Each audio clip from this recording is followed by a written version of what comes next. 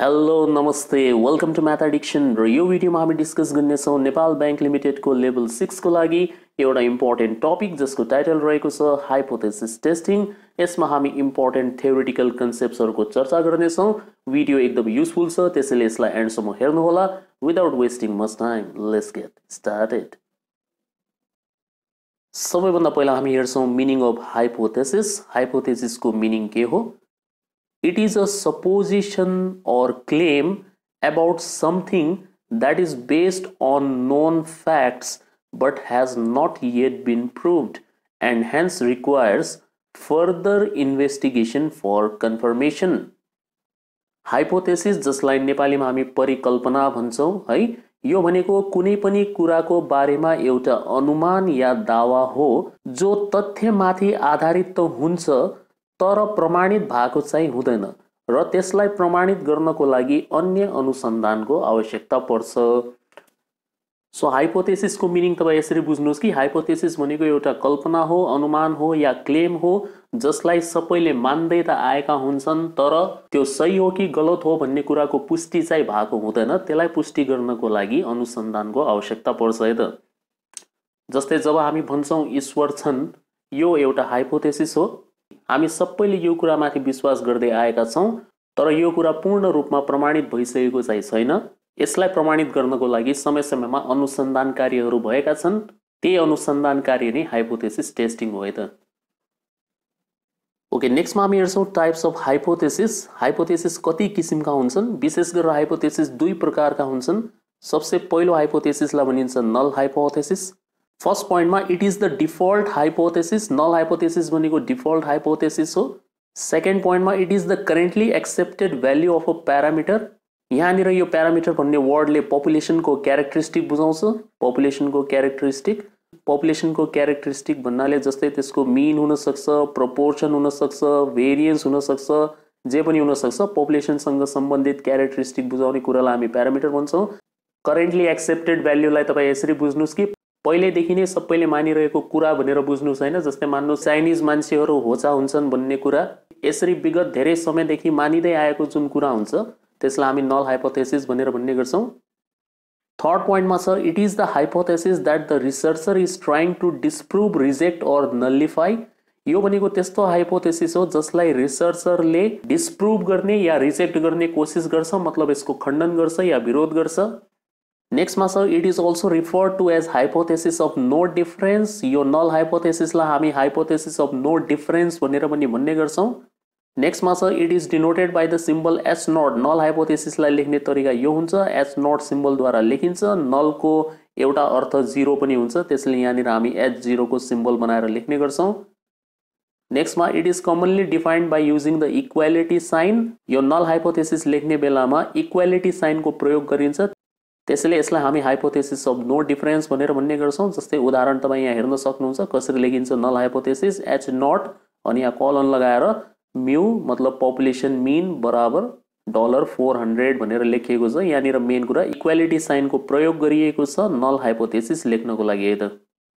दोस्रोमा आउँछ alternative hypothesis first पोइन्टमा it is the hypothesis that is contrary to the null hypothesis यो एउटा यस्तो हाइपोथेसिस हो जो नल हाइपोथेसिसको अगेन्स्टमा लेखिन्छ जस्तै तपाईँले कुनै पनि कुराको खण्डन गर्नु पर्यो भने के का आधारमा खण्डन गर्दै हुनुहुन्छ त्यो आधार पनि बताउनु पर्ने हुन्छ। त्यही आधार भनेको के हो? अल्टरनेटिभ हाइपोथेसिस हो।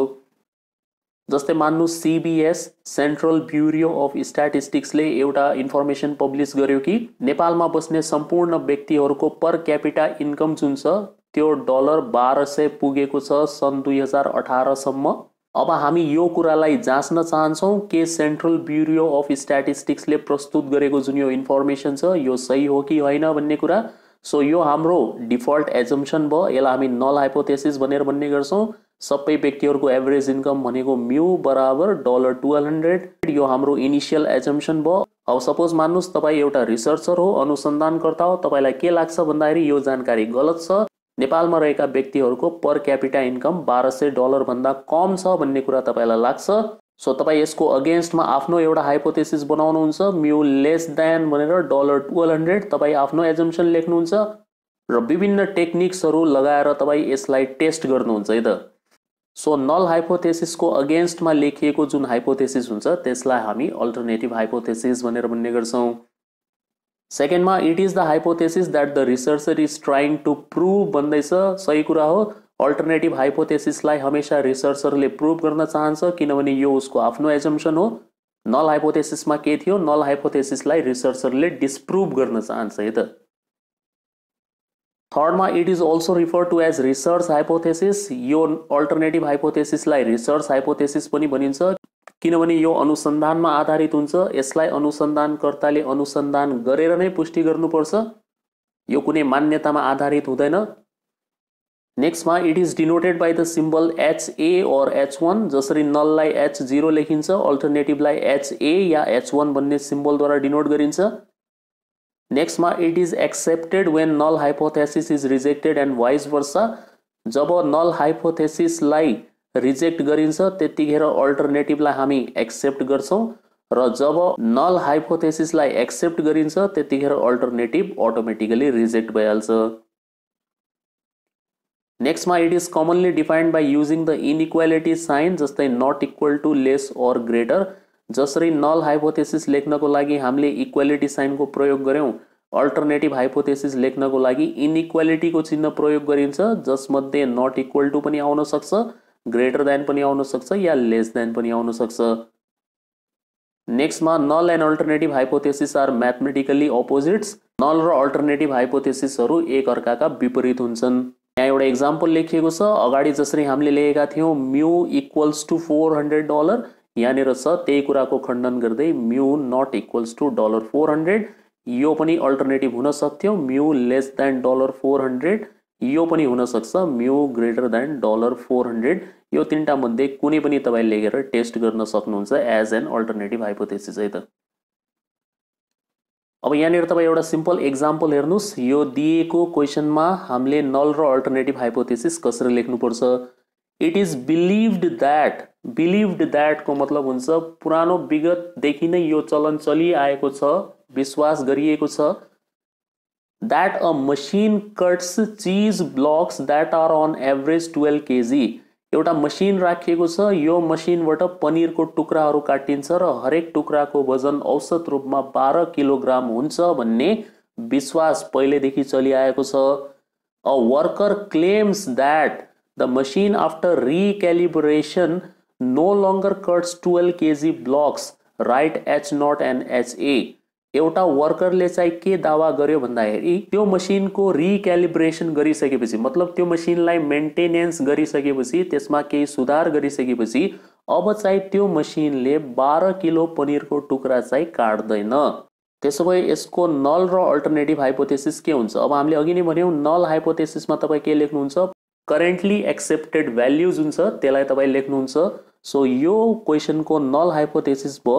म्यु बराबर टुवेल्भ केजी, किनभने पहिल्यैदेखिको विश्वास के छ भन्दाखेरि, त्यो मसिनले औसत रूपमा बाह्र किलोको पनिरको टुक्रा काट्छ। सो, यो भयो हाम्रो null hypothesis already established belief है। अब यो कुरालाई खण्डन गर्दै वर्करको क्लेम हामी लेख्छौँ as an alternative hypothesis so, वर्करको क्लेम के छ भन्दाखेरि, मसिनले अब चाहिँ बाह्र किलो पनिरको टुक्रा काट्दैन। कम हुन्छ कि बेसी हुन्छ त्यो भनेको छैन तर काट्दैन उसलाई लाग्छ यो कुरा। सो उसले आफ्नो हाइपोथेसिस बनाएको छ यो कुराको खण्डन गर्दै कि mu not equals to twelve KG उसलाई के लाग्छ? अब चाहिँ एभरेज वेट बाह्र किलो चाहिँ छैन। सो यो भयो अल्टरनेटिभ हाइपोथेसिस है त। ल हामी हेर्छौँ steps involve in hypothesis testing hypothesis टेस्टिङमा के के स्टेप्सहरू रहेका हुन्छन्? सो हाइपोथेसिस टेस्टिङ भनेको चाहिँ के हो भन्दाखेरि it is a statistical method of testing and assumption or hypothesis about the population parameter like mean, proportion, variance etc on the basis of sample statistics.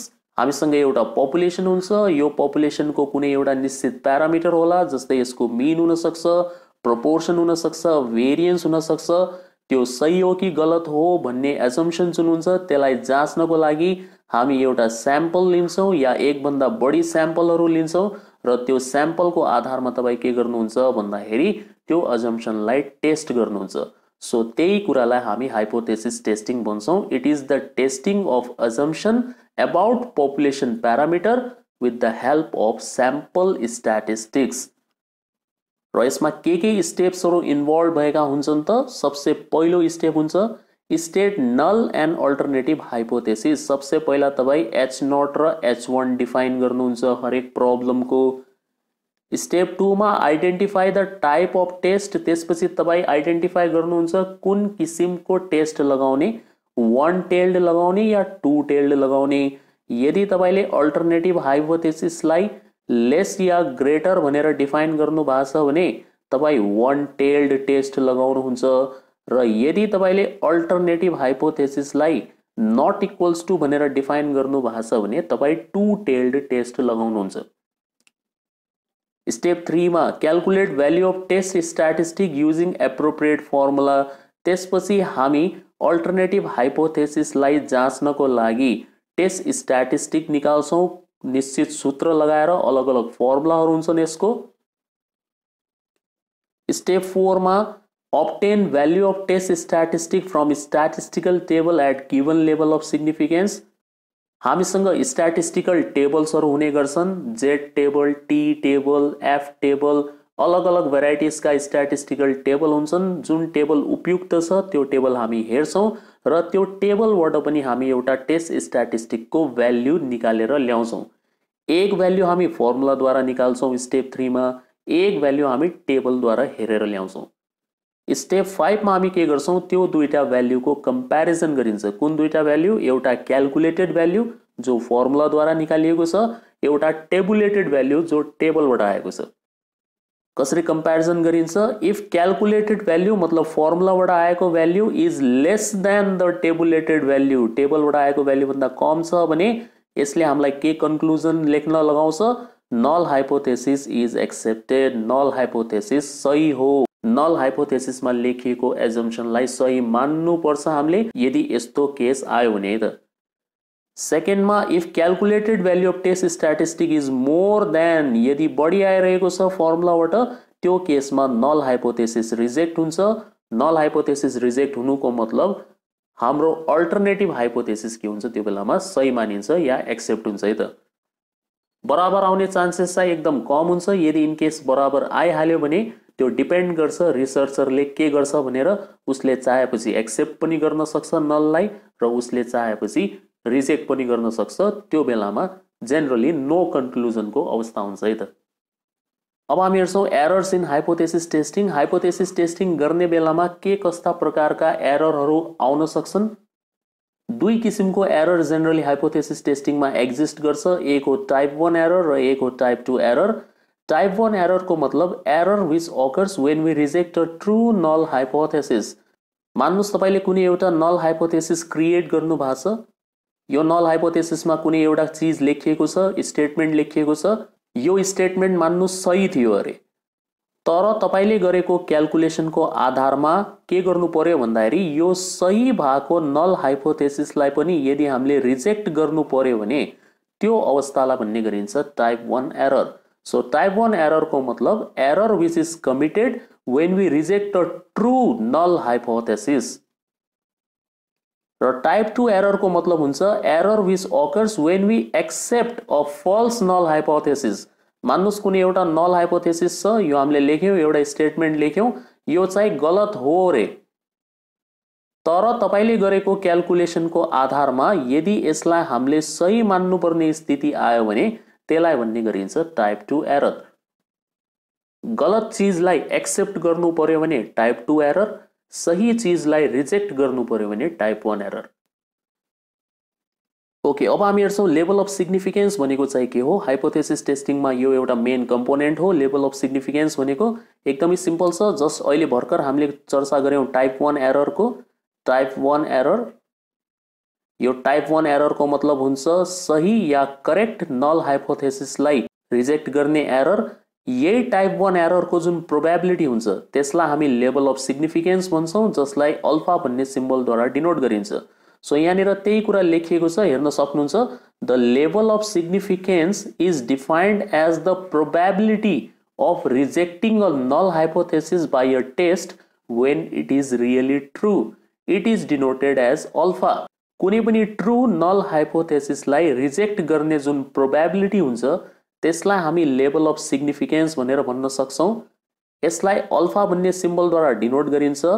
Most common level of significance is five percent सबसे commonly जुन level of significance प्रयोग गरिन्छ, त्यो हो five percent five बाहेक अरू पनि use हुन्छन्, जस्तै वान पर्सेन्ट टेन पर्सेन्ट तर विशेष गरेर चाहिँ फाइभ पर्सेन्ट लेभल अफ सिग्निफिकेन्समा टेस्टिङ गरिन्छ। यसको मिनिङ के हुन्छ भन्दाखेरि तपाईँबाट एरर हुने सम्भावना हाइपोथेसिस टेस्टिङमा गल्ती हुने सम्भावना ट्रु नल हाइपोथेसिसलाई रिजेक्ट गर्ने सम्भावना चाहिँ पाँच पर्सेन्टेज छ भन्न खोजेको है त। यो हाम्रो एररको मार्जिन भयो भनेर बुझ्नुहोस्।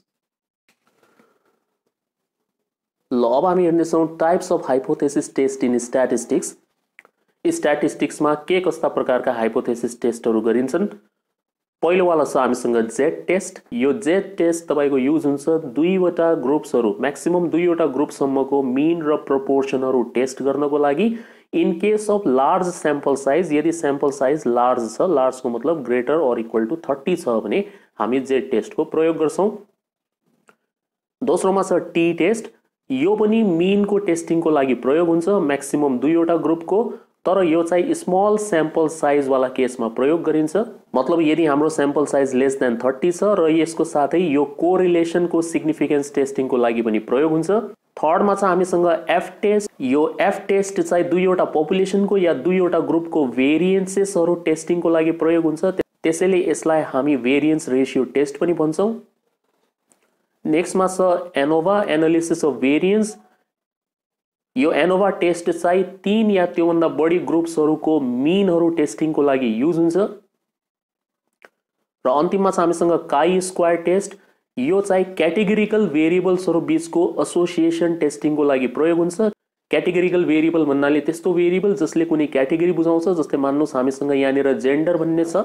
यो जेन्डर भनेको एउटा क्याटेगोरिकल भेरिएबल हो, यसको भ्याल्यु मेल फिमेल छ। त्यसै गरेर हामीले एकाडेमिक क्वालिफिकेसन लेख्यौँ। एकाडेमिक क्वालिफिकेसन पनि एउटा क्याटेगोरिकल भेरिएबल हो। मान्नुहोस्, यसमा तपाईँसँग प्लस टू छ ब्याचलर छ मास्टर छ, यो अब हामी चेक गर्न चाहन्छौँ एकाडेमिक क्वालिफिकेसन र जेन्डर बिचमा कुनै सम्बन्ध या एसोसिएसन छ कि छैन? सो क्याटेगोरिकल भेरिएबल बिचको एसोसिएसन या रिलेसनसिप चेक गर्नको लागि हामी काई स्क्वायर टेस्टको प्रयोग गर्छौँ। यो काई स्क्वायरलाई यो सिम्बलद्वारा डिनोट गर्ने गरिन्छ है त। र अब अन्तिममा हामी हेर्छौँ importance of hypothesis testing hypothesis testing किन उपयोगी छ? पहिलो पोइन्टमा it helps us to test if something really happened or if a theory is true कुनै थ्योरी साँच्चीकै सही हो र कुनै घटना वास्तवमा घटेको थियो जसलाई आजसम्म हामीले एक्सेप्ट गर्दै आएका छौँ। त्यो कुरालाई टेस्टिङ गर्नको लागि हाइपोथेसिस टेस्टिङ उपयोगी छ। नेक्स्टमा it helps us determine if one variable really predicts another कुनै एउटा भेरिएबलले साँच्चैकै अर्को भेरिएबलको अनुमान लगाउनमा सहायता गर्छ वा गर्दैन यो थ्योरीलाई पनि टेस्ट गर्नको लागि हाइपोथेसिस टेस्टिङ प्रयोग हुन्छ। यसको मतलब हुन्छ रिग्रेसन एनालिसिसमा पनि हाइपोथेसिस टेस्टिङको प्रयोग हुन्छ भनेर भन्न खोजेको। थर्डमा it is applicable in the fields of business economics scientific research medical field to test various theories and assumption बिजनेसमा इकोनोमिक्समा साइन्टिफिक रिसर्चमा विशेष गरेर युज हुन्छ मेडिकल फिल्डमा पनि युज हुन्छ। कुनै पनि नयाँ खोज अनुसन्धान मेडिसिन पत्ता लगाउनु पऱ्यो भने त्यसको बारेमा धेरै रिसर्च गरिन्छ हाइपोथेसिसहरू फर्मुलेसन गरिन्छ। यदि सबै टेस्टमा पास भयो भने मात्र त्यो कुरालाई मार्केटमा ल्याइन्छ यता। ल यो भिडियोमा यति नै। होप यसमा तपाईँले हाइपोथेसिस टेस्टिङको बारेमा राम्रो जानकारी पाउनुभएको होला। यदि यो भिडियो मन परेको छ भने लाइक र सेयर पक्कै पनि गर्नुहोस् र मेरो युट्युब च्यानल म्याथ एडिक्सनलाई सब्सक्राइब गर्न चाहिँ नभुल्नुहोला। म यस्तै युजफुल भिडियोज तपाईँको लागि लिएर टाइम टाइममा आउँदै गर्नेछु। अहिलेको लागि बिदा हुन्छु। Thank you for watching the video see you again